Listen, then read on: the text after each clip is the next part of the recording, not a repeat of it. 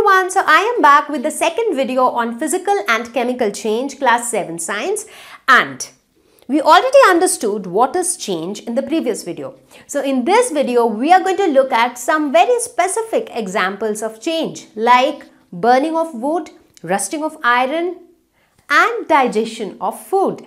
So are we all ready? Let's get started.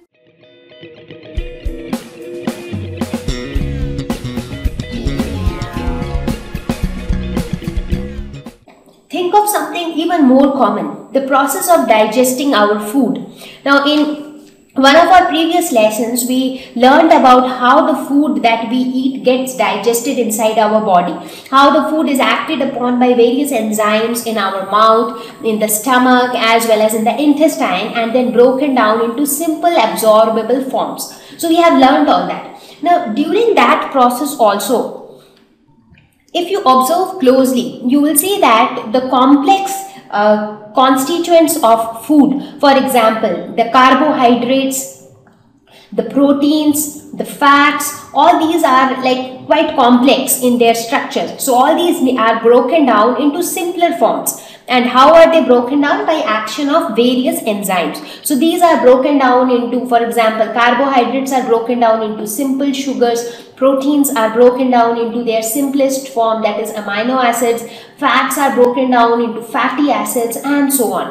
So that means basically there is a change in composition that is taking place. So initially the food was in the form of carbohydrate, protein or fat but now the food gets uh, broken down into its simplest form. So since there is a change in the chemical composition, so again this is also a chemical change because a change is taking place. Initially the food was in complex form, now it is in simpler form and this change involves a change in chemical composition. So it is an example of a chemical change. Again, think of curdling of milk. Do you, I'm sure you know what is curd. Have you ever prepared curd? Do you know how is curd prepared? Now all you need for curd is milk and little bit of curd, maybe a tablespoon, not even a tablespoon, even lesser than that. A little bit of uh, uh, curd to be used as a starter. So how do we prepare curd? First let me tell you that process. In fact you can try preparing curd in your home. Just take a bowl, put some milk into it. So we have poured some milk into it and you take little bit of curd. Just put little bit of curd into this milk. Mix it properly and leave it overnight. And what do you see? You see that the milk gets converted into curd. So that small amount of curd acts as a starter and that starter actually enables the entire milk to get converted into curd. So how does that curdling of milk happens? So this actually happens due to the presence of a bacteria called lactobacillus. So the bacteria is called lactobacillus and this bacteria is present in curd. So this small amount of curd which we are actually adding to this milk, so that small amount of curd contains this bacteria. And what do these bacteria do? This bacteria causes the proteins in the milk to coagulate. So the proteins which are already present in this milk, they start coagulating. That means the proteins come together and they form lump-like structure. As a result, you see, if you look at the structure of milk, it is like, it is very watery, it is like fluid. But if you look at curd, it is thicker than milk. It is more, uh, you can feel that lumpiness in the curd. So that happens due to coagulation of the milk proteins. And who causes coagulation of milk proteins? The bacteria lactobacillus which is present in the curd sample. So as a result of this formation of this uh, as a result of this coagulation, lactic acid is also produced by the action of this bacteria. So during curdling of milk, this bacteria produces lactic acid and we have learned in our previous lesson that acids are always sour in taste and due to the formation of this acid curd is sour in taste even though it is prepared from milk but curd is sour in taste because of the presence of lactic acid so what do we learn in the entire process? So in the process of conversion of milk into curd, what happens? A lot of chemical reaction takes place due to which new chemical substances are being formed like lactic acid. The protein structure changes. So that means a lot of change in terms of chemical composition takes place. So therefore curdling of milk is also a chemical change. So let's look at the next example that is burning of paper. So this is again a very common example which, which we come across in our day-to-day -day life and we will see how again this is a chemical change. So when we burn a paper all that we get is ash so here you see that their physical appearance definitely changes because we are actually getting a new substance altogether. Now, but when you look at their composition, you see that paper is made up of polysaccharides. If you look at the chemical composition of ash, it is also made up of some complex type of polysaccharides, but their chemical composition is not the same. Also, in this process of change, during this change, it is not only that paper just immediately gets converted into ash. A lot of heat is produced during the process when you burn a paper. A lot of light is also produced during the process and this change is obviously irreversible because you just cannot convert the ashes back into the paper. So this is again an irreversible change. So burning of paper is a chemical change. But if you try to compare it with tearing paper into pieces, so tearing or uh, when you try to tear the paper into different pieces, so that is a physical change. Because in that case the change is only with respect to size and shape of the paper. But the chemical composition of the paper still remains the same. And uh, that is why that is a physical change. But in this case since the chemical composition also changes so it is a chemical change burning of wood. So again this is also on similar concept. So when wood is burned what happens? So in presence of oxygen uh, it gets converted into a lot of different gases like carbon dioxide is released a lot of heat is released water vapor ash. So these are the products. So again here also the the chemical composition changes. So during this process also heat is produced light is produced and this happens in presence of oxygen. So wood burns in presence of oxygen. So a lot of other gases are also produced. For example carbon dioxide is also produced. We also get some amount of ashes. So basically a lot of new products are formed. The process is also irreversible. So it is also a chemical change. Let's look at another interesting example. We will see that if you use a straw take a glass, put some lime water into it. So what is lime water? Lime water is nothing but calcium hydroxide. And using that straw, if you blow in some air into the glass, that is what, what are you uh, blowing out? That is nothing but carbon dioxide because we breathe out carbon dioxide. So if you breathe out through the straw you will see that the lime water turns milky so that is again a change because initially it was lime water which was watery and now it has become milky. So why does that change happen? That also happens due to change in chemical composition. So what was this? This is basically lime water and what is lime water? It is nothing but a solution of calcium hydroxide that is calcium hydroxide powder mixed with water produces the lime water. So this calcium hydroxide and when does this change happens that it turns milky? It turns milky when we breathe out through the straw. So basically we are actually adding carbon dioxide to this solution. So when carbon dioxide reacts with calcium hydroxide, it produces calcium carbonate plus water. So this calcium carbonate, due to the formation of this calcium carbonate, the lime water turns milky. Because calcium carbonate it is something which also help uh, is the constituent of marbles. So Again, what is happening if you look at the liquid inside the glass, a lot of chemical changes are happening. Calcium hydroxide getting converted to calcium carbonate. So obviously this is again a physical change. Uh, this is again a chemical change. Now somebody might say that okay, we, we learned that during physical change the appearance or the color changes. So in this case also the color is changing from lime water to milky. So it should be a physical change. But whether it is a physical change or chemical change that is determined by whether the chemical composition has changed or not. Now in this case the chemical composition has also changed and therefore it cannot be a physical change and it is a chemical change. Let's look at another interesting example. Have you ever seen a magnesium ribbon? I'm sure all of you know what is magnesium, right? So this, uh, there are magnesium ribbons which are available which look somewhat like this as you can see here. It's like a, a rope kind of a thing which is silvery white in color and it is not very soft like ribbons. So it's like moderately hard ribbon and the most beautiful thing about magnesium ribbon is that it burns with a brilliant white flame. So that is why that makes magnesium ribbon quite popular. So if you burn it, a beautiful flame comes out.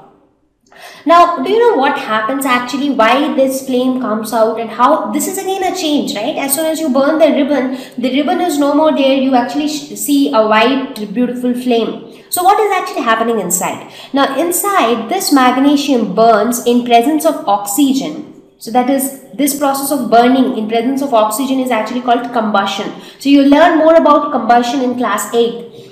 So magnesium burns in presence of oxygen to form magnesium oxide. And this magnesium oxide is what? The ash which is left behind after all the ribbon is burned. So when the entire ribbon is burnt, what are you left behind with? You are left with the ashes. So these ashes are nothing but magnesium oxide. So now just to experiment with things. In our previous lesson, we learned about acidic and basic nature of a lot of substances. Now, just to experiment a little more with this, what you can do is take this some of this ash and mix this ash with water. So what do you get? You get a solution. Now just try to perform the litmus test with that solution. So basically what you have here, this solution is nothing but magnesium oxide that is the ash plus some water. And when you put a red litmus paper, it turns blue, which says that this solution is actually basic in nature. So that means what is actually happening here? Magnesium, when it combines with water, it produces magnesium hydroxide and magnesium hydroxide is a base and that is why it is turning the red litmus blue. So you see in each of these uh, thing either when magnesium combines with oxygen or when magnesium combines with water a lot of chemical reaction takes place new chemical substances are formed. So these are examples of again chemical change. So now the most common example of chemical change that is rusting. In fact, I mentioned it on the very first slide only. So what is rusting? It is nothing but the presence of uh, a reddish brown layer over iron articles. Now it is not necessary that rusting happens only to iron. It also happens to other metals like copper. In copper also you can see a greenish layer over its surface. That also happens due to rusting. Now this rusting takes place in presence of air and water and it happens when iron is exposed to moist air. So moist means it will have some water and air is oxygen. So in presence of oxygen and water, this rusting will take place. So it will acquire a coat, coating of a brown flaky substance and this is called rust. So basically if you look at it from the chemistry point of view, if you look at it from the chemical reaction point of view, you will see that rust is nothing but iron oxide because when iron combines with air and water it forms a new compound and that new compound is iron oxide. It is a compound of iron oxide and this is what is rust. So let us perform a very simple experiment to show that rust can form only in presence of oxygen and water. So it cannot happen in presence of only water or in presence of only air. So see in the first setup, this is in on all the three setup I have taken an iron nail. So in the first scenario you see that it is put into water. So basically water is present and it is also exposed to air. So here air is also present. So both air and water is present. So in this case what happens? Rusting takes place and that is why you see the iron nail has turned a little bit of reddish. So why did that happen? Due to rusting. In the second case you see it is water. Water is present there but it has been blocked so that there is no air being made available to the nail. So now in presence of only water again, no rusting takes place. In the third scenario, instead of water, some calcium chloride has been taken so that it, it cannot react with water so in this case, due to absence of water, again rusting cannot take place. So this proves that both air and water are required for corrosion. Both of them are required. In presence of only air or only water, rusting cannot take place. Therefore, the chances of rusting are more where the air is little moist. Like in, in a lot of places like near the coastal areas, the air has lot of moisture. So the chances of rusting are more in those kind of areas. Rusting has a lot of disadvantages associated with it because it is not a desirable thing. Why? Because the metal becomes brittle and weak. So the metal loses its strength. It makes the metal weak. So it tends to break. It, it, it, it's like gets spoiled to some extent you can say. It also destroys the appearance and shine of the metal because normally if it is proper, if it is without rusting, it will have its own glaze and shine. So that is also lost favors growth of bacteria and viruses. In fact, that is why you would have uh, seen that if people get hurt by uh, iron objects, especially rusted iron objects, in that case they are often given uh, the injections for tetanus. Why? Because this tetanus viruses, they often grow in the rusted iron. So the chances of your body being infected by these kind of viruses becomes more. So that is also it, it is uh, something which is not desirable, right? Because the rusted areas they will have more bacteria and viruses and these bacteria and viruses might harm us in a number of ways.